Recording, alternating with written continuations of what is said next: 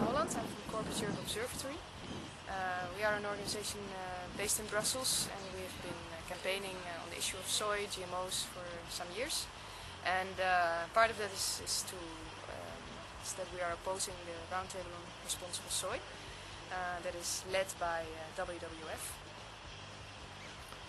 Well, they started the roundtable on responsible soy in 2005 together with a Swiss supermarket.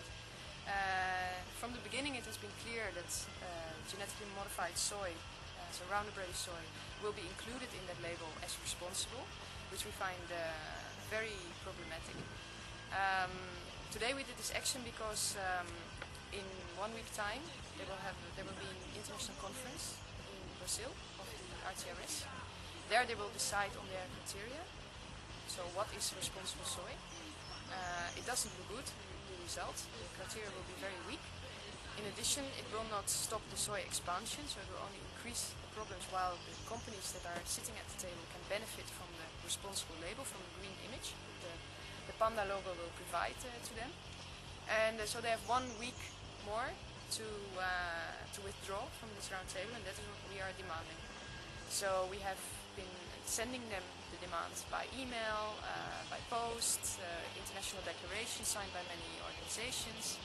Uh, they've always responded in the same way, in a very evasive way, saying that they're opposed to GMOs, but on the other hand find it too important to take part in this roundtable and therefore label Roundup Ready soy as responsible, which we find completely uh, contradictory. And that's what we came to tell here today, is that we find it yeah, an embarrassment for uh, a conservation organization, what they claim they are, to be uh, uh, in association with Monsanto, Syngenta, Cargill, ADM, and the whole rest of it that are causing so much damage in countries like Paraguay and Argentina. So we thought it was high time to, to pay them a visit and to put our demands personally into their hands. So that's what we came to.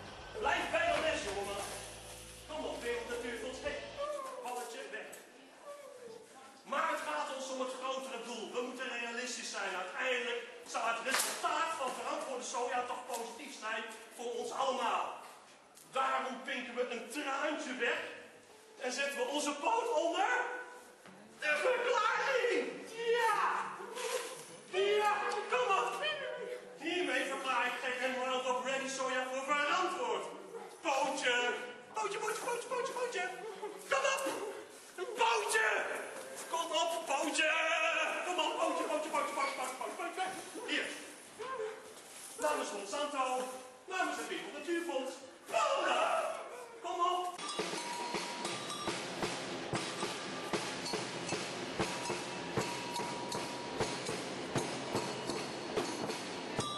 Not just us, it's mainly uh, the, the rural population and peasant movements in the south that are uh, suffering of the soy expansion. It's being grown on millions and millions of hectares in Argentina, Paraguay, Brazil, and it's uh, displacing not only nature but also small farming systems. So people, rural communities, getting enclosed by Roundup Ready soy fields on which so much pesticides is being used that it affects their health and their fields. Uh, soy farmers use all kinds of methods to eventually buy up their land or take their land in some other way. So basically what you see is empty schools, empty villages and later a soy field uh, covering it. And that's what's happening in, uh, in large parts of Argentina, in Paraguay and uh, Brazil. So that is uh, why we are opposed to Roundup Ready soy. Yeah, the problem yeah. is that companies can on, on the existing fields that are already cut, they can grow responsible soy. They can continue at the same time, or the banks that are involved, they can invest in continued soy expansion in other regions, where maybe the soy cannot be labeled responsible, but there will always be a market for not responsible soy as well.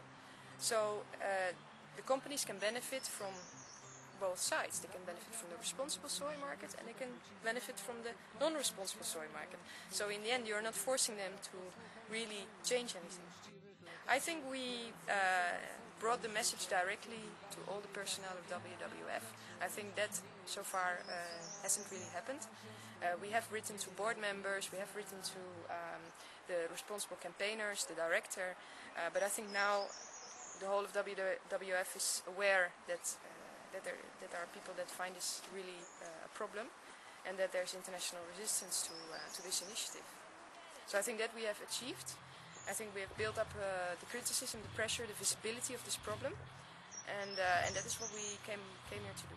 Well, I think this is, uh, I think, indirectly a promotion of other types of actions like fighting the factory farming, fighting the big pig farms, the big importers of soy, uh, rather than uh, working on a responsible label for, for this soy.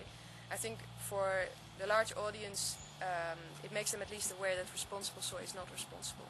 And I think that is, uh, and therefore not worth by uh, giving a premium price for.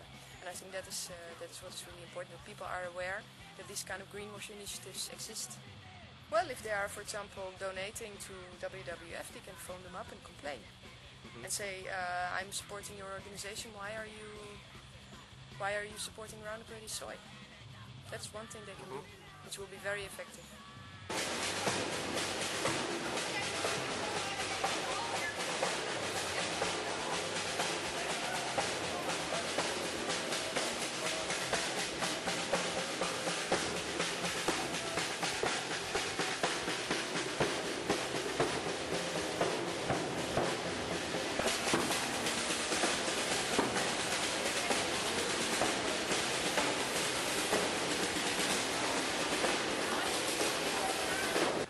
I think uh, one thing that is, if you look a little bit closer, I think it's interesting to see that the uh, Dutch government and Dutch organizations are almost entirely financing the Roundtable on Responsible Soy, and that with this money they are financing outreach activities in producing countries like Argentina, and there the RTRS representatives are saying to soy producers, listen, soy has a very bad name in Europe, there's a lot of disinformation about deforestation and chased away communities, and therefore you should join the RTRS because your name will improve. So they're actually undermining the uh, distribution of information that NGOs here in the Netherlands are, are doing about the impacts of soy, uh, and, uh, and saying that uh, the RTRS will make the image of these soy farmers better. And exactly in these areas, soy expansion is causing deforestation, and uh, the chasing away of indigenous communities, like in the regions of Salta in, in northwest Argentina.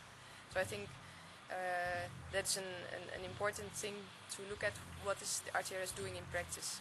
And I think it is rather legitimizing and fostering the expansion of soy rather than uh, really addressing the problems. Okay, thank That's you. what I would like to add.